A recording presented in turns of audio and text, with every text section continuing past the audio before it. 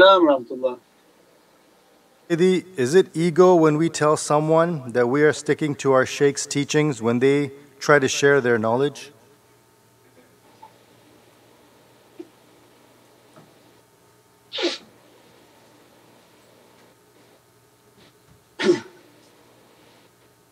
Is it ego when, when we say we're sticking to our shaykh's teaching when they're sharing their knowledge? We have to be sensitive not to offend people, we don't want to come off as rude people. But there's a limit that people feel it necessary to teach and spread whatever little they know. And that teaching can contaminate the heart especially if it's contrary to haqqaiqs and realities and especially if they're going to try to interpret hadith and Qur'an it can be all over the spectrum of, of confusion. So we generally try to meet with people as friends and, and very basic informations. If you enter into a relationship with one person feels it's necessary to teach you and dominate you by their teaching then it's probably best to keep a distance if possible because that, that becomes a difficult situation where some people they want to be a teacher, they want to be a shaykh. There are even people who say there are no shaykhs but they act like shaykh and they want to give everybody a teaching. And that's the problem is they begin to set confusion and if you're new on the path they, they quote and misquote hadith, they misquote about ta'weez and they say, oh there's, there's ta'weez about amulets, there's hadith about amulets but those amulets that they're talking about were bones and Prophet making reference to those people who were putting like these bones of animals and creatures and, and making all sorts of idealistic uh, references. There was nothing in reference to that. As a matter of fact Prophet was teaching about ruqya and that to invoke Allah's names and invoke Qur'an for the healing is all of Islam. So everything is misquoted and mistaught in the last days so it can cause a great amount of confusion. So we get a large amount of those types of emails, what's this, what's that, what's this. Anytime you come to a shaykh don't ask from any of their teaching, is it haram? Because that's a slap in their face. You think there would be a shaykh who's teaching you haram then why even email him, run. So if you need a clarification then basically look through all his websites and begin to read and educate yourself. This is a time of jahiliyyah and everything that that madhab teaches of from Dajjal it's going to say it's from paradise and know that it's in hell and if you follow their teachings it take you onto the path into hell. And anything they say will take you to hell, know that it takes you to paradise. And now they show themselves, they show what they're doing and what they believe. They have card games in the middle of Ramadan, they're posting pictures of big uh, look like casinos and they say brings families together.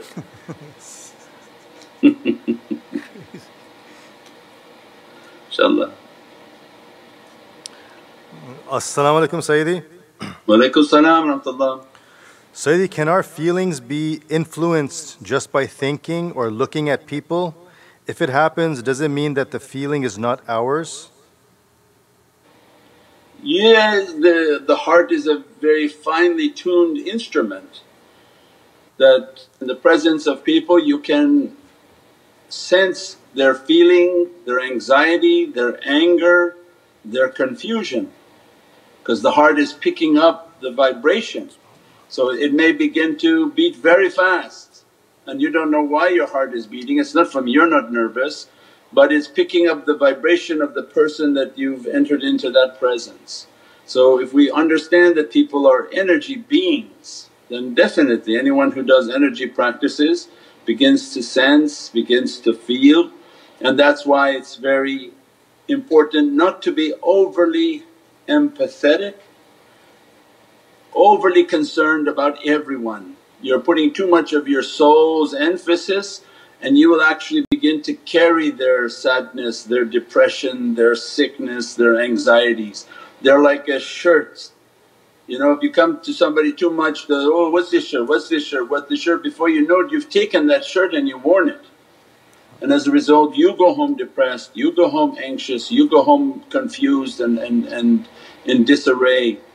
So that's why I keep a, a spiritual distance and unless you're focusing on the shaykh and those whom are positive then you focus with all your heart and every everyone else very superficial through your mind. Don't put your heart into everything because then you go away carrying everything inshaAllah. As-salamu alaykum Sayyidi. Alaykum salam rahmatullah. Can you please tell us the etiquette when visiting the grave of just regular people, not awliyaullah? The etiquette of visiting the grave? Uh, visit them and recite Surat al-Fatiha, dua, whatever comes to your heart. But if you're visiting the grave of awliyaullah then to connect your heart and to recite, to make lots of salawats, asking for their Muhammadan reality to dress you and to bless you. What make them to be awliya is their overabundant Muhammadan nur within them. So immense amounts of salawats and love for Sayyidina Muhammad because you're at the Muhammadiyun light and that light is to dress the servants who come in its proximity inshaAllah. And anyone else you pray for them and uh, uh, whatever comes to your heart depending upon how dear and near they are to you then alhamdulillah. You pray on them, you recite Suratul Yasin for them, whatever comes to your heart at that time inshaAllah give food on their behalf. Visiting is, is one adab but if it's loved ones and those whom you love and have passed, do good deeds that continuously reach them. That's when people's faith are real. Means that you, you go to the majlis and you feed, you give to support and say, I want to feed people and I want iftar for people, I want to take care of these oceans and I want you to do it in the name of my grandmother and that's between you and Allah. As soon as you wrote that intention, so when you write the note on our site and that's why we sent in a note section because we want you to type that note. Not that the shaykh is going to go and start writing things because people don't have that level of faith but as soon as you put your fingers and start typing it also been typed into your book. And that's the real registry, kiram al-katibin they have registered what you wrote and what you did. You wanted that food to go for your grandmother then it been written on there and that hisab is, is Allah is the best of those who keep hisab. If you want to know about an NFT and, and smart contract these are all dunya. What do you imagine of the smartest contract from Allah that as soon as you do something your name and your intention what you wrote is locked onto that contract for all of eternity. And as a result Allah sends the reward of that contract that you got that well and it's blessing that soul. Only these contracts and these understandings and these technologies why is coming in the last days? Because it's a sign from the heavens. These, these things that you call blockchain, we say, what was blockchain? It's taking information instead of centralizing in one location you put it on a thousand locations and every piece has one bit of that. What was the original blockchain? Qur'an. That's why nobody can tamper with it because nobody one person holds it, nobody one person interprets it. Allah sent a hundred million, five hundred million people whom recite it and each one memorizes it and if anyone tampers with it the other 499,999 hafiz will know.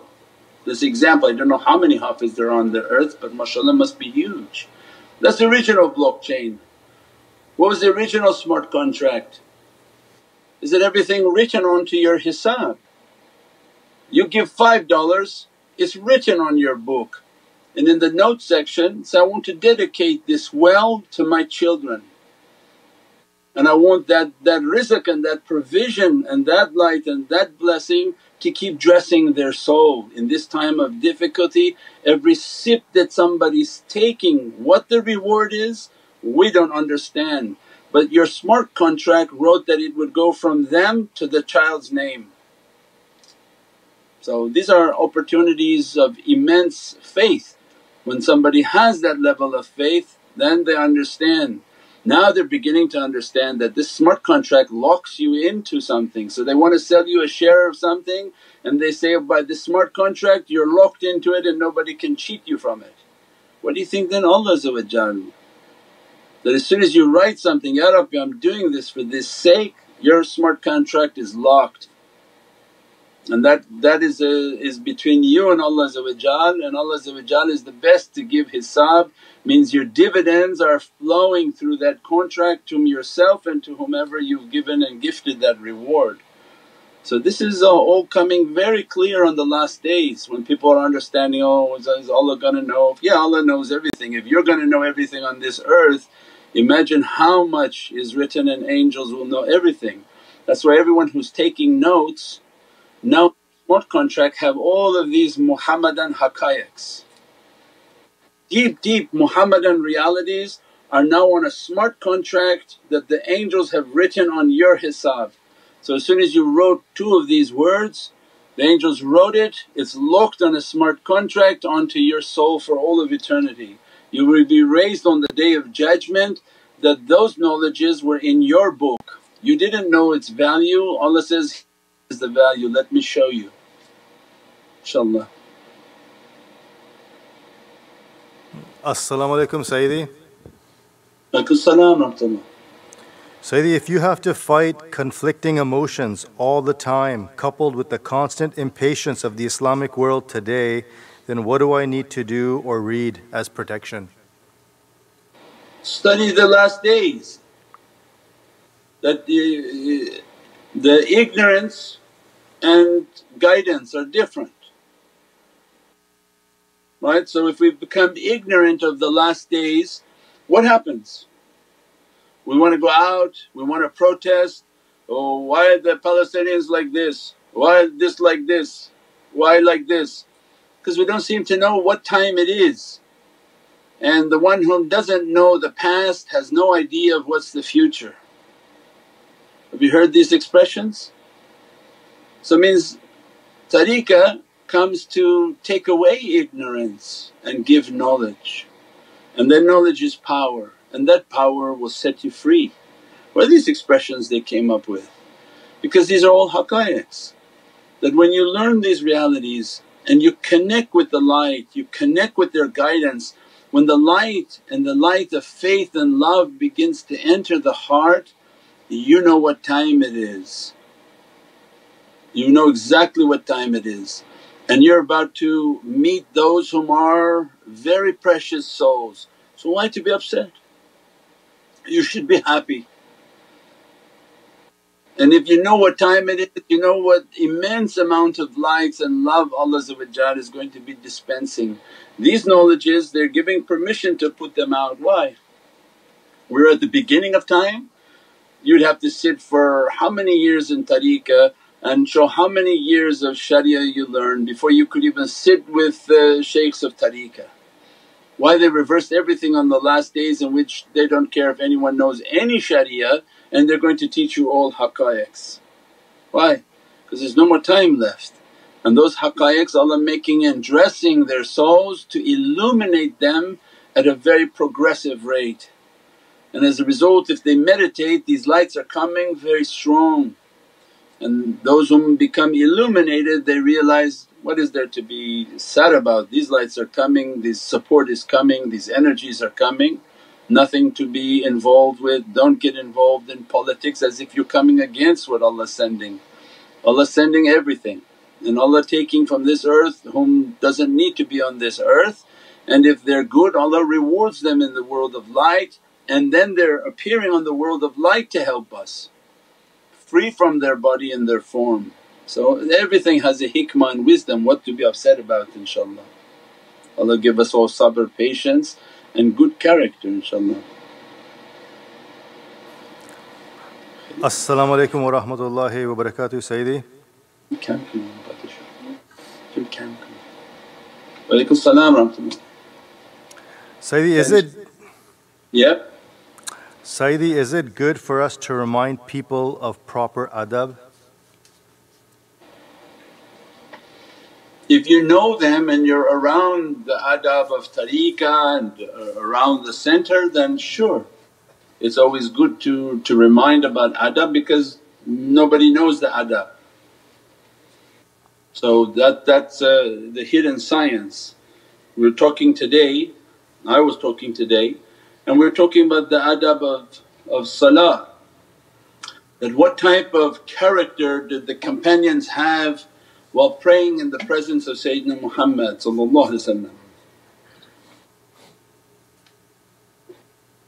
Their belief was what? That Prophet is in the presence of Allah So then how do you think that they prayed? By keeping their eye on Prophet They understood that he Sayyidina Muhammad is in the presence of Allah If he's in ruku, why are you in sujood?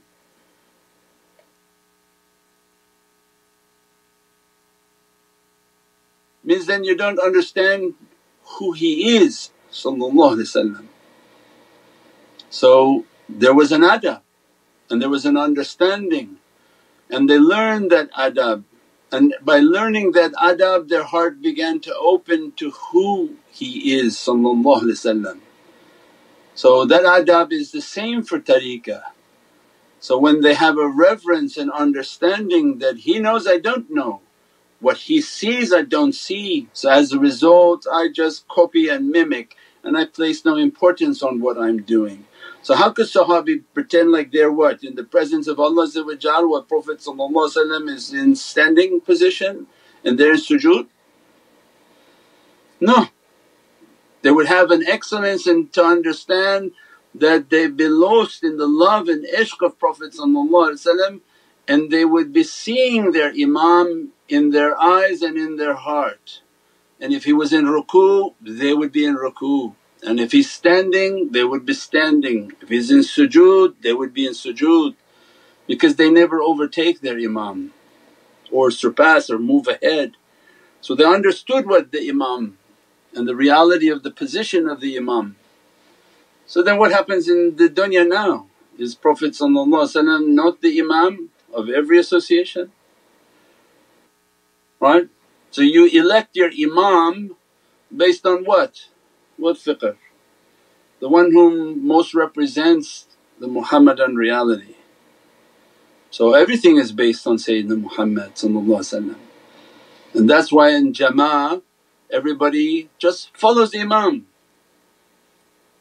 So when there is no jama'ah then the shaykh represents the re reality of Prophet so these are big realities in adab but the last days adab is lost as a result people don't find their reality because they're tariqal adab, they keep a, a adab that doesn't open for them that reverence. The reverence and the character of what Allah your character is, uh, is uh, immense. It's Allah's description for Prophet He's a khuluq, khuluqul azim not that you, you gave so much and oh mashallah look how, how hafiz you are but Allah was so immensely happy with the khuluq. So khuluq is the top priority in your aqeedah and everything has to be based on your khuluq and character. You don't raise your voice over the voice of the shaykh because you didn't raise your voice in the presence of Prophet you kept a very soft demeanour as to not. Why? Then Allah described in your last episode you described that verse, don't raise your voice over the voice of Prophet and none know that but the people of tafakkur and contemplation, the people of good character. So those whom scream and yell they, they're coming against the adab. So then you know at that time Prophet must not be in that association of their yelling and screaming and, and making all howling and growling. So everything is based on adab, they don't move, they don't yell, they don't raise their voice in the association because Prophet tajalli is in that association. They don't move, they don't do tasbih, they don't do zikr if there's a sohbat and talk because the light of Prophet is there. If the one has bad adab then that light doesn't dress them to the extent that it should have dressed them because it's tariq al adab, it goes against the adab. And Allah wants to see what? Your khuluq. That's it, tariqah is the khuluq. Allah is not impressed by anybody being hafiz, by anybody uh, doing these actions or that actions. Allah is impressed by all that you know or all that you don't know, you have such a wonderful character. If you have a lot of knowledge then you have bad characters, oh look at that the knowledge this person has and look at how their character is. It didn't help them. And if they don't know anything and they have beautiful character then Allah saying, oh look how wonderful this person is going to be. If I illuminate them and they have this type of character they're going to be shining like a, a sunshine. So everything comes down to the character and the adab. And those who know they teach very softly to people. They give by examples in themselves but they don't post on somebody's page, hey you're doing this, hey you're doing that. That again is, is, is no, is aggressive and that doesn't help anyone. But the teaching and recommendation is sometimes sharing a story and sharing an experience of adab and so people can become enlightened to the way of tariqah and to get the rewards that they're trying to get from Allah inshaAllah. Uh, As-salamu alaykum Sayyidi. Wa salam What is the significance of the phoenix in dreams? Significance of the phoenix in reality and in dreams. It represents the, the light and the struggle, it represents, Ya Allah, Ya Muhammadun sallallahu Ya Ali and that uh, Allah to dress us from that light, dress us from that uh, barakah and that the phoenix is the bird that destroys all the chains of grief and bondage from this world. And the immense support of Imam Ali for the arrival of Imam Mahdi that we pray that Allah make our heart from that light and that the madad and the support of Imam Ali to reach to us into our hearts and into the depth of our character and our wujud and that we become phoenixes in ourself that break the bonds and the chains of this nafs and this body inshaAllah. Hmm. As-salamu alaykum Sayyidi. Homa Rahma. Wa alaykum salam rahmatullah. In Farsi they call Homa, Homaya Rahma, Ali Homaya Rahma. Ali is the phoenix of Ar-Rahma, Ar-Rahman. Alaykum salam. Um, Sayyidi, is it okay to read awrad du'as in random order? I read all the du'as in order except two du'as, Aman Rasul and Ihda later. Inshallah, you can do whatever you want. If you want to read it then you read it but uh, I'm sure that Mawlana Shaykh put it in an order that it is a movement in the presence of Sayyidina Muhammad and has a, a dress. But if you're forgetting at that time then read it after then alhamdulillah whatever I'm sure everything has its own blessing. Try to take any type of individuality out of what we do and once you fully mimic the shaykhs then you can add on top of that. But take the desire of individuality out inshaAllah.